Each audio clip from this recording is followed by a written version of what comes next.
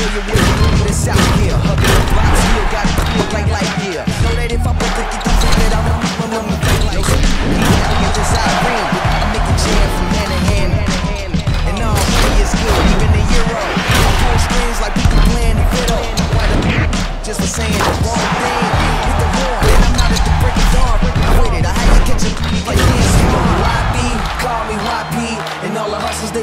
just like me.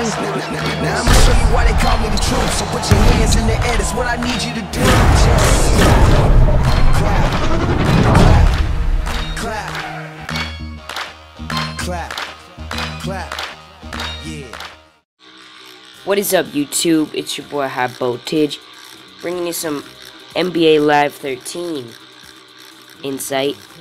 Well, just the trailer actually, but I've been putting up a lot of NBA 2K13 stuff, and I thought there's got to be a lot of NBA thir Live 13 fans as well. So I might as well put some stuff out there for them. I don't think I'm gonna buy this game, but I thought that I might want to look at it. I always liked it before they kind of had their somewhat of a collapse. And then I had to switch to NBA 2K13 and I ended up loving it.